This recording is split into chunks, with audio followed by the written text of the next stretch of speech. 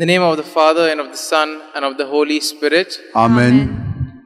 O oh, my God, I am heartily sorry for having offended you, and I detest all my sins because I dread the loss of heaven and the pains of hell, but most of all because they offend you, my Lord, you who are all good and deserving of all my love.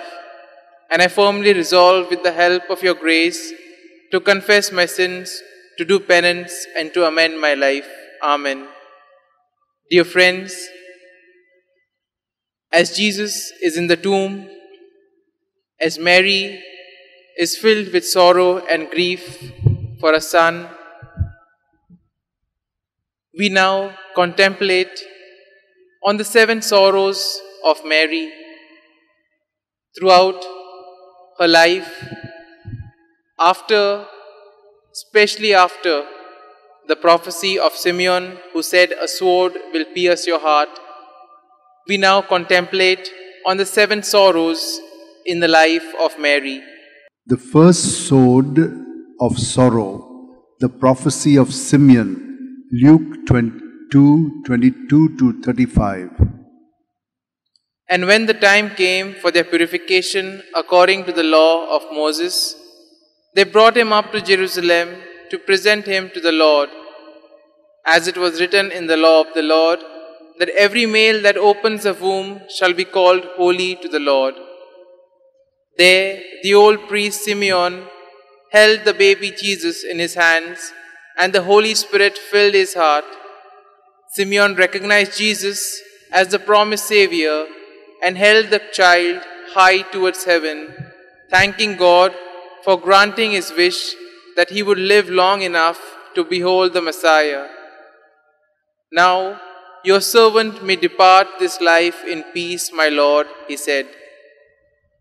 Simeon blessed them and said to Mary his mother, Behold, this child is set for the fall and rising of many in Israel, and for a sign that is spoken against, and a sword will pierce through your soul also, that the thoughts out of many hearts may be revealed. The Blessed Virgin knew that she had given birth to the Savior of humankind, so she immediately understood and accepted Simeon's prophecy. Although her heart was deeply touched by this favor of bearing the baby Jesus, her heart remained heavy and troubled, for she knew what had been written about the ordeals and subsequent death of the Savior. Whenever she saw her son, she was constantly reminded of the suffering he would be subject to, and his suffering became her own. Beloved Mother Mary, whose heart suffered beyond bearing because of us, teach us to suffer with you and with love, and to accept all the suffering God deems it necessary to send our way. Let us suffer, and may our suffering be known to God only, like yours and that of Jesus. Do not let us show our suffering to the world, so it will matter more and be used to atone for the sins of the world. You, Mother, who suffered with the Savior of the world, we offer you our suffering and the suffering of the world, because we are your children.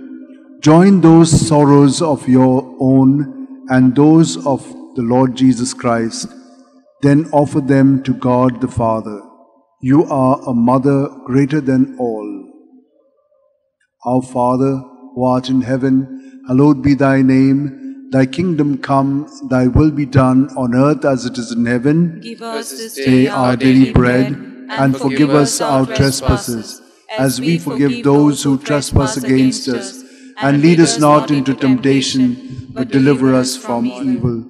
Hail Mary, full of grace, the Lord is with you. Blessed are you among women, and blessed is the fruit of your womb, Jesus. Holy Mary, Mother of God, pray for us sinners, now and at the hour of our death. Amen. Most merciful Mother, remind us always about the sorrows of your Son, Jesus.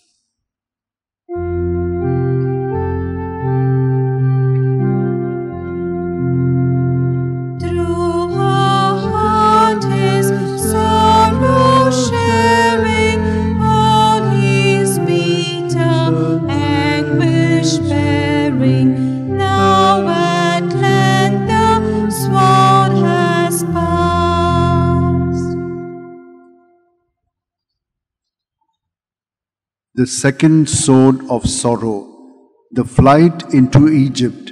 Matthew 2 13 to 15. Mary's heart broke, and her mind was greatly troubled when Joseph revealed to her the words of the angel. They were to wake up quickly and flee to Egypt because Herod wanted to kill Jesus. The Blessed Virgin hardly had time to decide what to take or what to leave behind. She took a child and left everything else, rushing outside before Joseph so that they could hurry as God wished. Then she said, Even though God has power over everything, He wants us to flee with Jesus, His Son. God will show us the way, and we shall arrive without being caught by the enemy.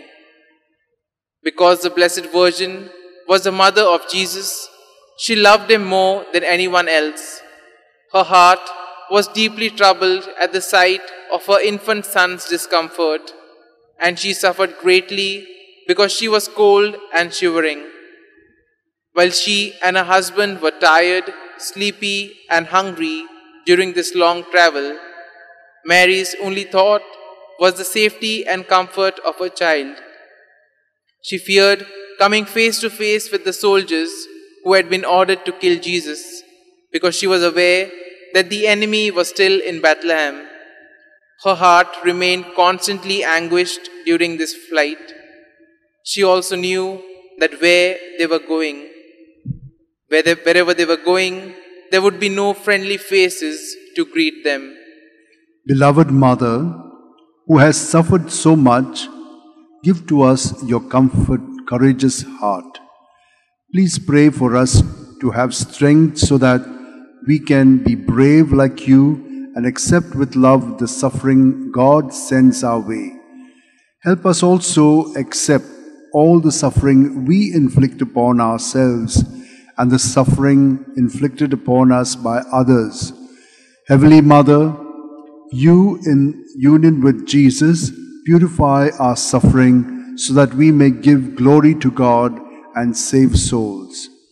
Our Father, who art in heaven, hallowed be thy name, thy kingdom come, thy will be done on earth as it is in heaven. Give us this day our, daily bread, bread, and forgive us our trespasses, as we forgive those who trespass against us. And lead us not into temptation, but deliver us from evil. Hail Mary, full of grace, the Lord is with you.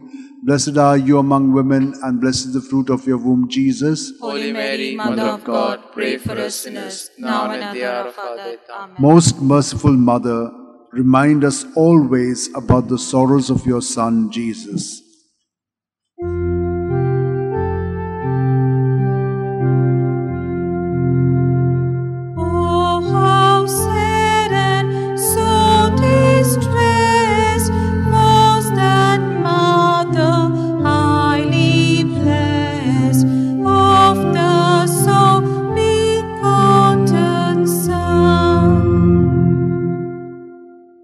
Third sword of sorrow, the loss of Jesus in the temple. Luke 2 41 to 52. Jesus was the only begotten Son of God, but he was also Mary's child. The Blessed Virgin loved Jesus more than herself because he was her God. Compared to other children, he was most unique because he was already living as God. When Mary lost Jesus on their way back from Jerusalem, the world became so big and lonely that she believed she couldn't go on living without him. So great was her sorrow. She felt the same pain her son felt when he was later abandoned by his disciples during the Passion. As the Holy Mother looked anxiously for a beloved boy, deep pain welled in her heart. She blamed herself, asking why she didn't take great care of him. But it was not her fault. Jesus no longer needed her protection as before. What really hurt Mary was that her son had decided to stay behind without her consent. Jesus had pleased her in everything so far. He never annoyed her in any way, nor would he ever displease his parents. She knew that he always did what was necessary. However, so she never suspected him of being disobedient. Beloved Mother, teach us to accept all our sufferings because of our sins and to atone for the sins of the whole world. Our Father, who art in heaven, hallowed be thy name. Thy kingdom come, thy will be done on earth as it is in heaven. Give us, Give us this day our daily bread, and forgive us our trespasses, as we forgive those who trespass against us. And lead us not into temptation, but deliver us from evil. Hail Mary, full of grace, the Lord is with you. Blessed are you among women, and blessed is the fruit of your womb, Jesus. Holy Mary, Mother of God, pray for us sinners, now and in the hour of our death. Amen. Most merciful Mother, remind us always about the sorrows of your Son, Jesus.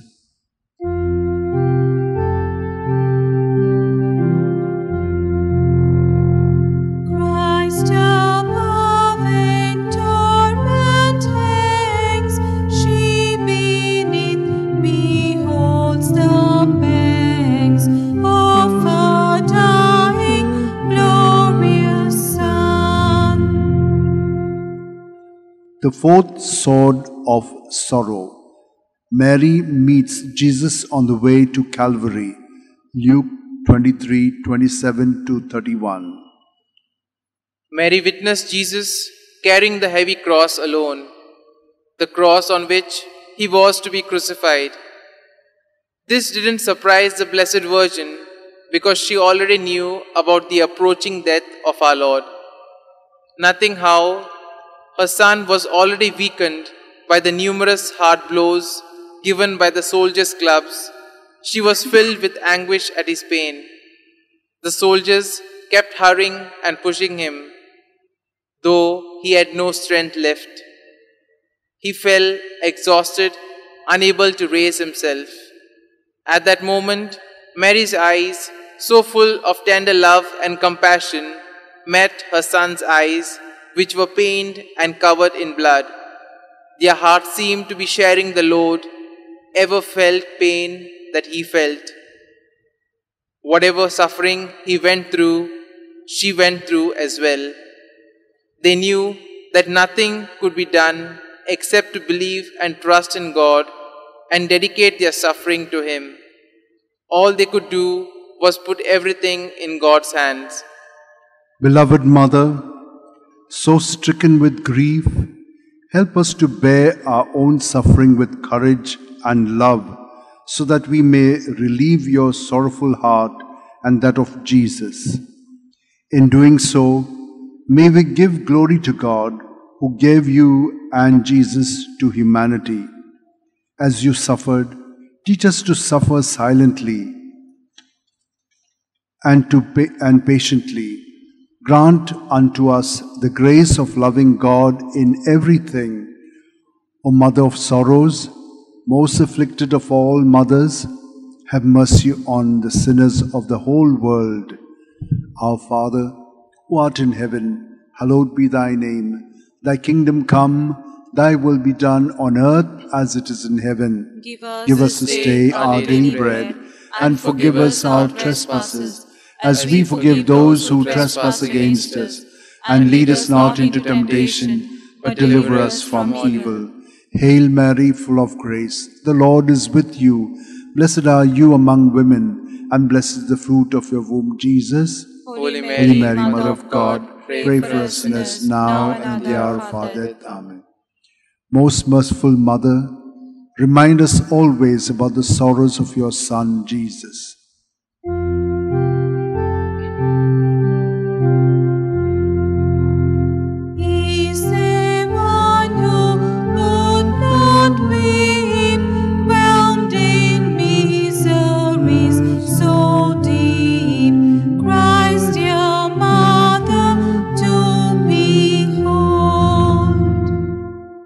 The fifth sword of sorrow.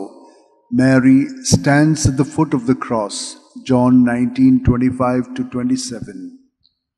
the Blessed Virgin Mary continued to climb the mount to Calvary, following behind Jesus, painfully and sorrowfully, yet suffering silently. She could see him staggering and falling with the cross some more, and she witnessed her son being beaten by soldiers who pulled his hair to force him to stand up. Despite his innocence, when Jesus reached the top of Calvary, he was ordered to confess in front of the crowd so that they could laugh at him. Mary deeply felt her son's pain and humiliation, particularly when his tormentors forced him to strip off what was left of his clothing.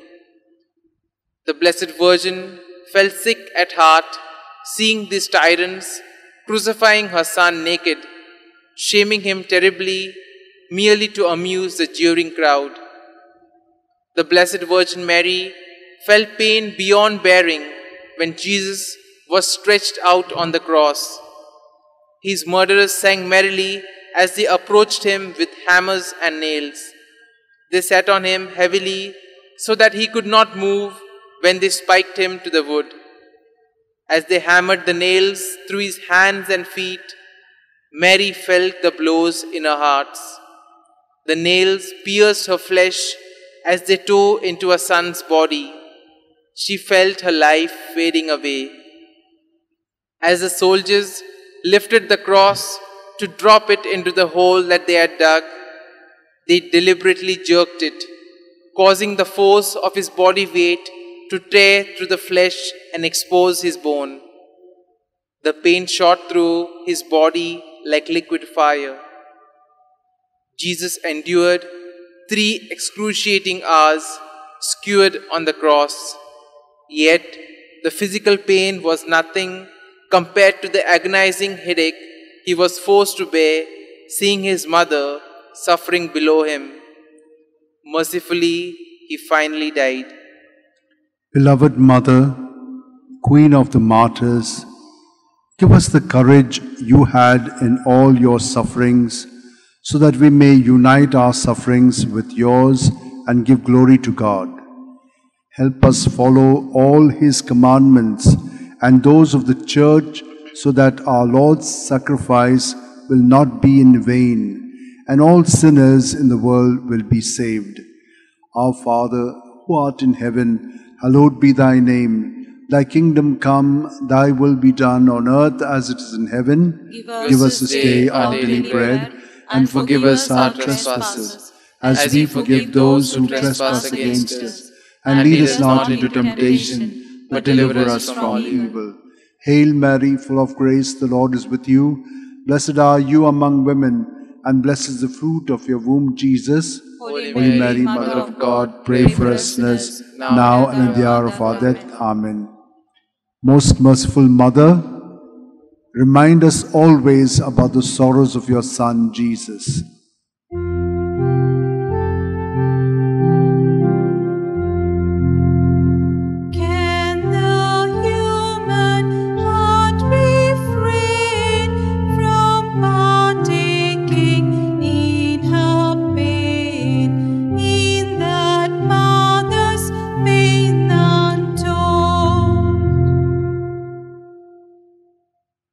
The sixth sword of sorrow. Mary receives the dead, dead body of Jesus in her arms. John 19:38 to 40. The friends of Jesus, Joseph and Nicodemus, took down his body from the cross and placed it in the outstretched arms of the Blessed Virgin. Then Mary washed it and with deep respect and love because she was his mother. She knew better than anyone else that he was God incarnate who had taken a human body to become the Savior of all people. Mary could see the terrifying wounds from the flogging Jesus had received while at Pilate's place. His flesh had been shredded and large strips had been torn from his back. His entire body had been so lacerated that gaping wounds crisscrossed him from head to toe. Mary found that the wounds from the nails were less severe than those caused by the flogging and the carrying of the cross. She was horrified at the thought that a son had managed to carry the heavy, splintered cross all the way to Calvary. She saw the circle of blood the crown of thorns had made on his forehead, and to her horror, realized that many of the barbed thorns had dug so deeply into his skull that they had penetrated his brain. Looking at a broken boy, the Holy Mother knew that his agonizing death was far worse than the torture reserved for the wickedest of criminals. As she cleaned his damaged body, she envisioned him during each stage of his short life, remembering her first look at his beautiful newborn face as they lay in the manger, and every day in between, until this heart rendering moment as she gently bathed his lifeless body. Her anguish was relentless as she prepared her son and Lord for burial, but she remained brave and strong becoming the true queen of martyrs. As she washed her son, she prayed that everybody would know the riches of paradise and enter the gates of heaven. She prayed for every soul in the world to embrace God's love, so her son's torturous death would benefit all humankind and not have been in vain. Mary prayed for the world and she prayed for us all. We thank you, beloved Mother, for your courage as you stood beneath the dying child to comfort him on the cross. As our Savior drew his last breath, you became a wonderful mother to all of us. You became the blessed mother of the world. We know that you love us more than our own earthly parents do. We implore you to be our advocate before the throne of mercy and grace so that we can truly become your children. We thank you for Jesus, our Savior and Redeemer, and we thank Jesus for giving you to us. Please pray for us, Mother. Our Father who art in heaven, hallowed be thy name, thy kingdom come, thy will be done on earth as it is in heaven. Give us This this day day our our daily daily bread, and forgive us our trespasses, as we forgive those who trespass against us. And lead us not into temptation, but deliver us from evil. Hail Mary, full of grace, the Lord is with you. Blessed are you among women, and blessed is the fruit of your womb, Jesus. Holy Mary, Mother of God, pray for us sinners, now and at the hour of our death. Amen. Most merciful Mother, remind us always about the sorrows of your Son, Jesus.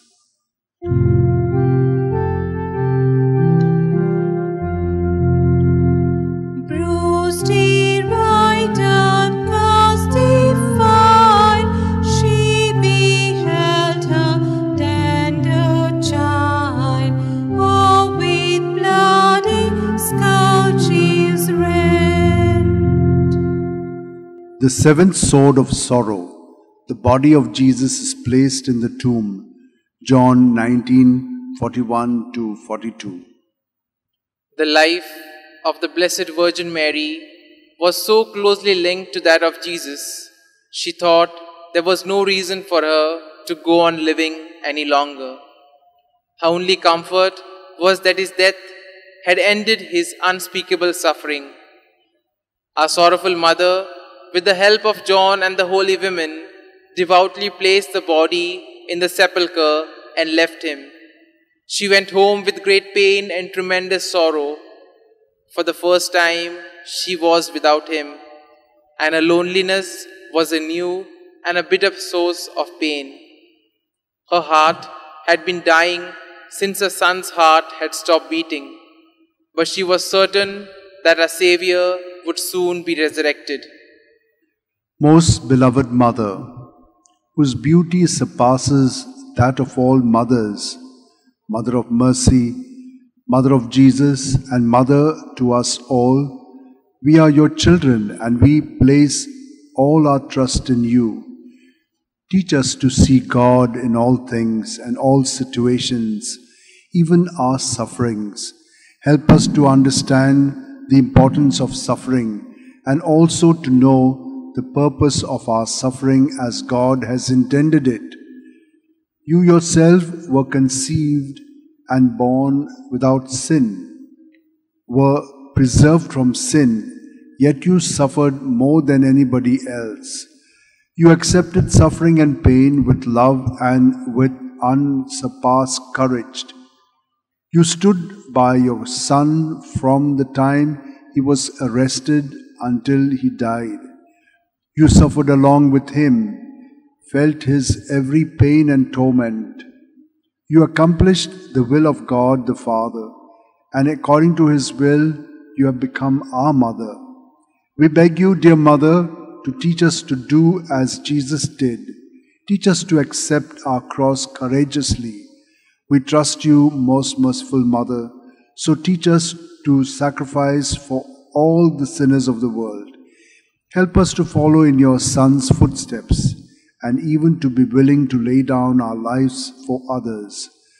Our Father, who art in heaven, hallowed be thy name. Thy kingdom come, thy will be done on earth as it is in heaven. Give us This day our daily bread, and forgive us our trespasses, as we forgive those who trespass against us.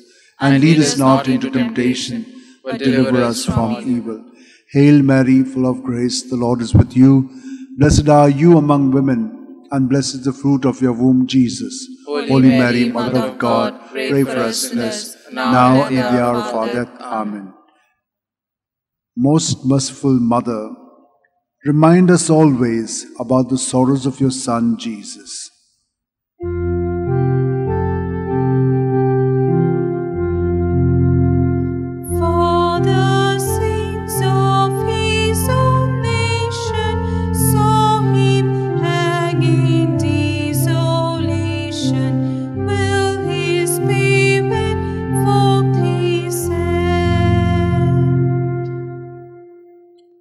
Concluding prayer Queen of Martyrs, your heart suffered so much.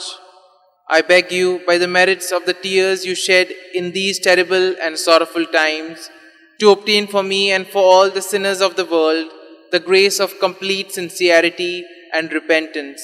Amen. Mary, who was conceived without sin and who suffered for us all, pray for us. In the name of the Father, and of the Son, and of the Holy Spirit. Amen. Amen.